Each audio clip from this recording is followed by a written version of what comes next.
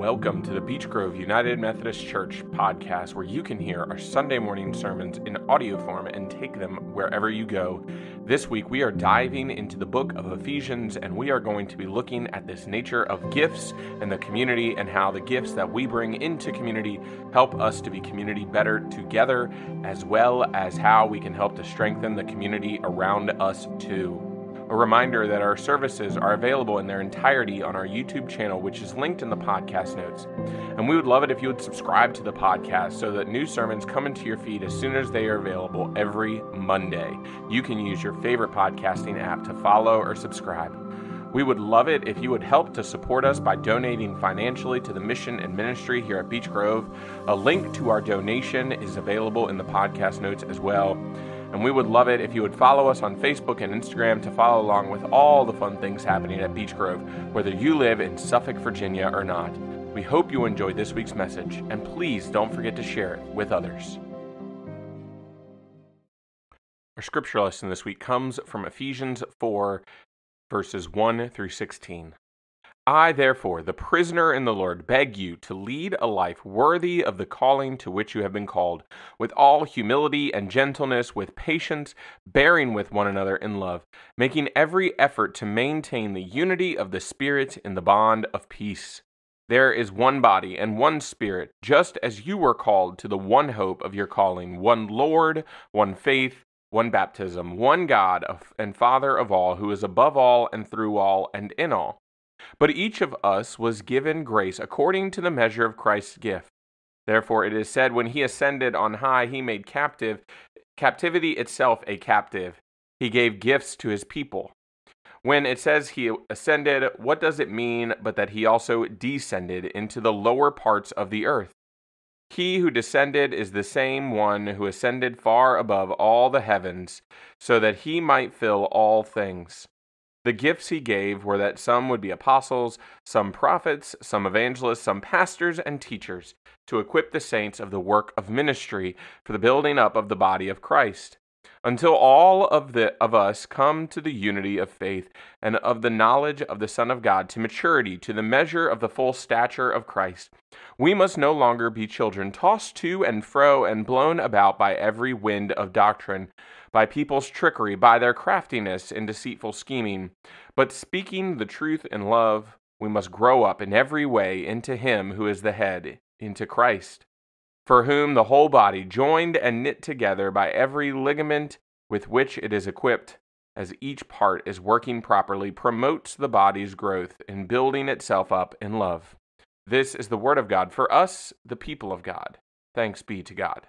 Amen. Let us pray. Holy God, may the words of my mouth and the meditations of each one of our hearts be holy and pleasing to you.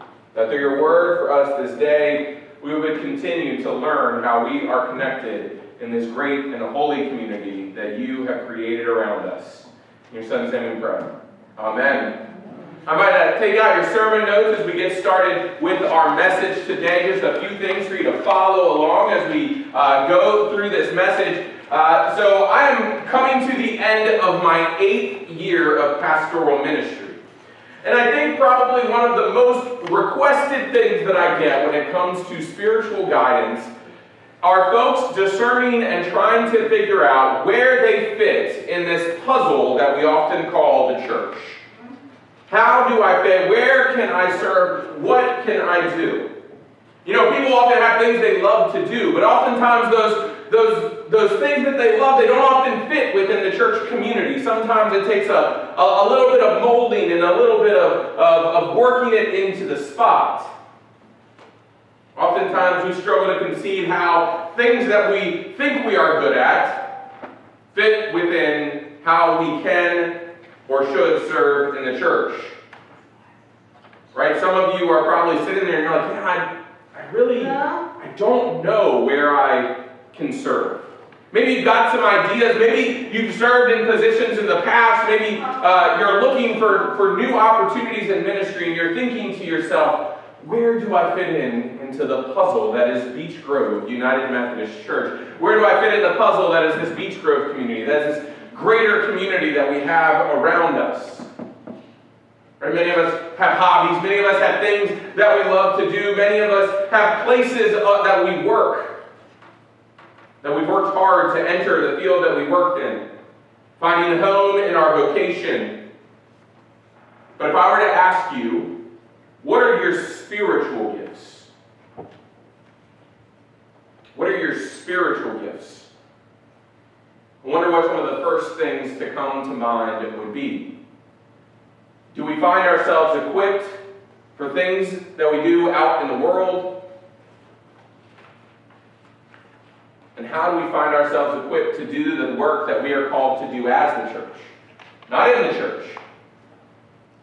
But how does God equip us, call us, and gift us with the manners of grace that He offers in order to do the work of the church? Right? Discipleship, in its truest sense, is more than just accepting Christ, but it's actually living into who Christ calls us to be.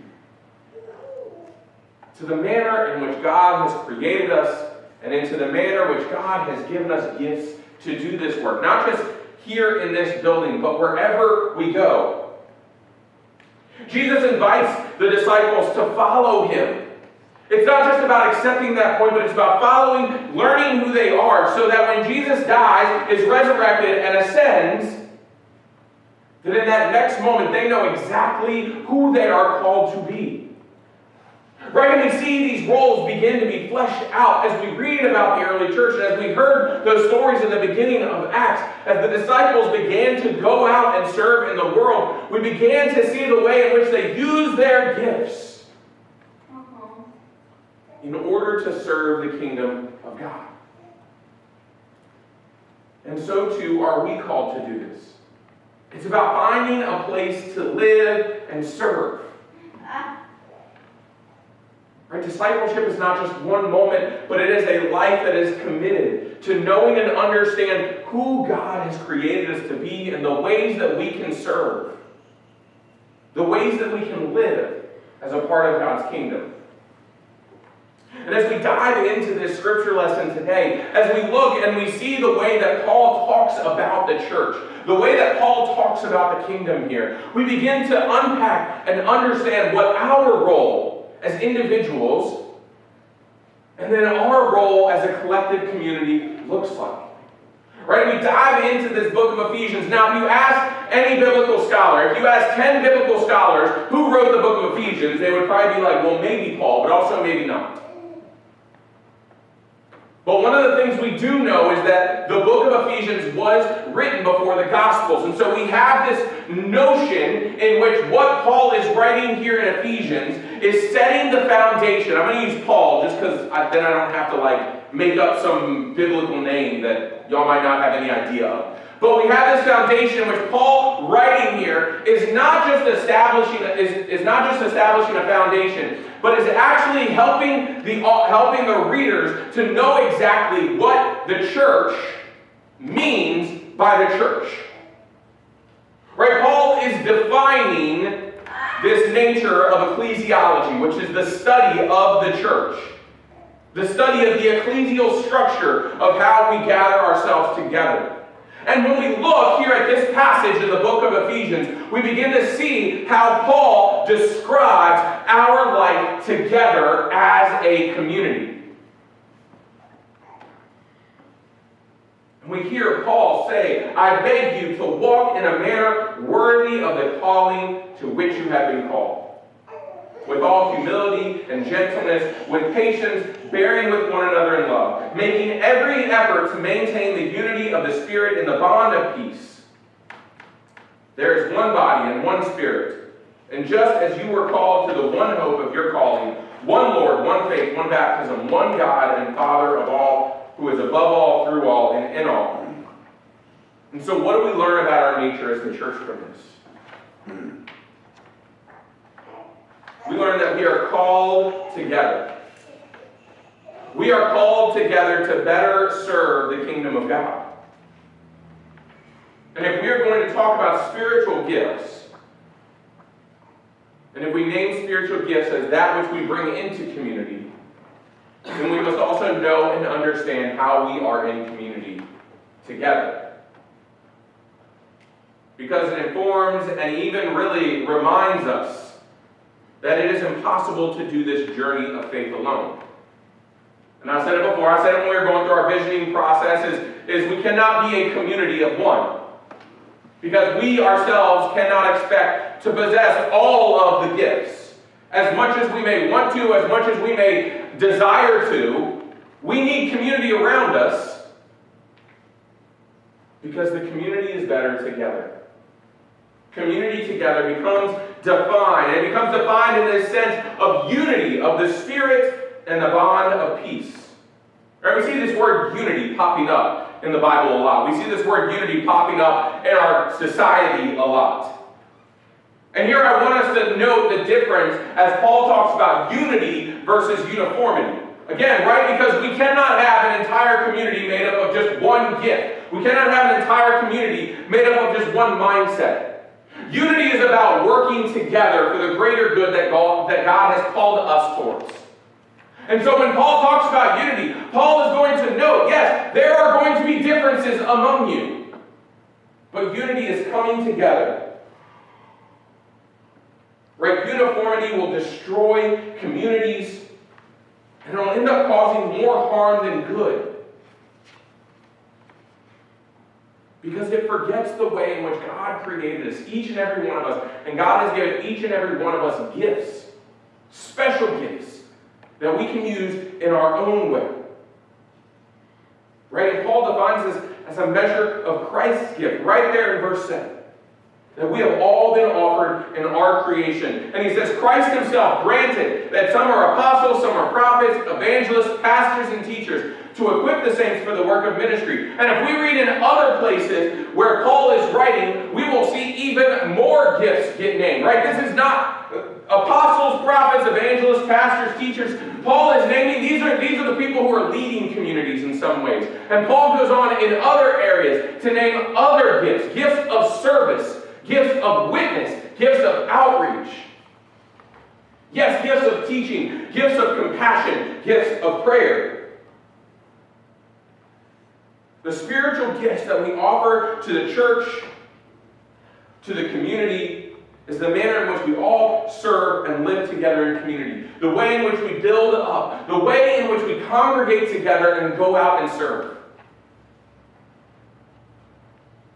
And if, we're, and if we don't do this work of knowing and understanding how we fit this puzzle together,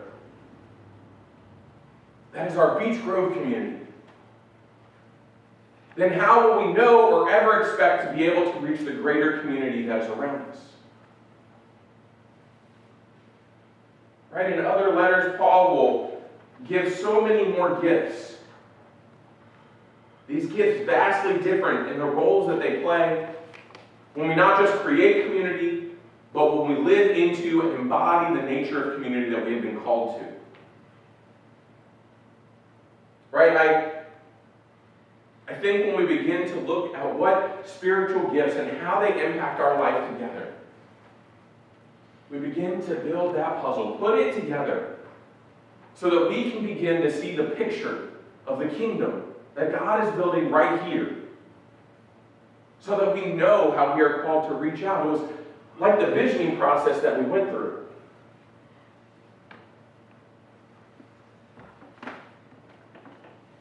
Paul is telling us, is saying to us, that as we grow, we grow into Christ as a whole body, being knit together by every ligament with which it is equipped.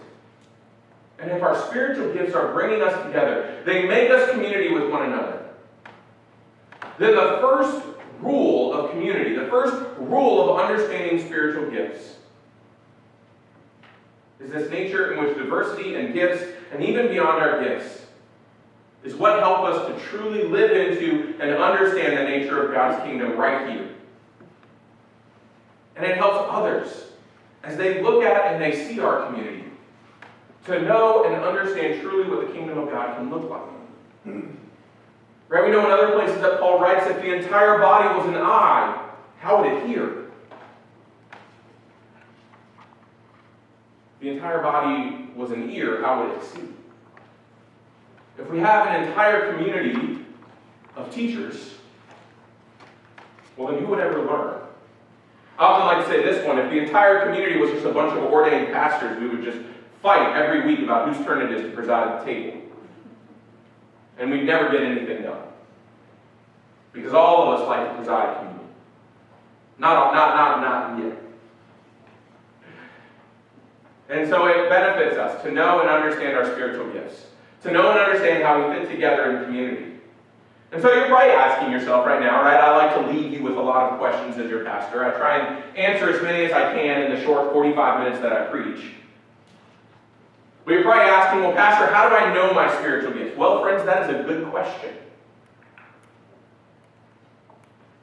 We have things like spiritual gift inventories that help us to know and understand. Uh, I meant to bring some, but I invite you to, to join to join us together. If you are interested in a spiritual gifts inventory, to even if you think you know what your spiritual gifts are, even if you've been serving in this church for, for decades, but you want to unpack exactly what that gift is. You may think you know what it is, like, but I just can't put the word to it. Friends, I want, I want us to do these inventories so that we can know and understand our community better. One of our strategic goals as we've come together is to begin to identify what those gifts in this congregation are. Not so that pastor just knows where to put you when I'm doing nominations every year. No, don't, don't hear that. But we want to make sure as a community that as we are going out and we are doing this work that we feel called to do, as we're serving and leading here, as we're offering opportunities for folks to learn and grow in their own manners of discipleship, as we leave these doors and we go out into the world, whether we are serving as a Beech Grove community to, to, to one of our uh, missional connections out in the world, or whether you are going out in the world on your own and have been sent to go and do God's work in the community that you serve, in the vocation that you are a part of, so that we can begin to have those conversations to unpack the ways in which we are called to serve. And within both our congregational context and with, I mean, within the walls of this building, sorry, within the walls of this building and outside the walls of this building, we are always looking to the ways that we are using our gifts to serve God's kingdom. It helps us to know and understand once we take the spiritual gift inventory and we begin to put those names, those, those scriptural understandings of what it is we love to do. Then we unpack the other things that we love to do, the hobbies, the passions, the joys, and we begin to connect those. You know, for example, I love running. How many people are surprised by that? I love to run, but I also love to teach. That is one of my top spiritual gifts is teacher and leader, right? I mean, it's only purely coincidental that I stand before you today. But I love running so much, and I've tried to find ways to use this passion, my love of running, and my spiritual gifts of, of shepherding, of learning, of, of, of teaching, of leading and so I've started trying to help coach some of the youth in our running community. Helping kids learn about running.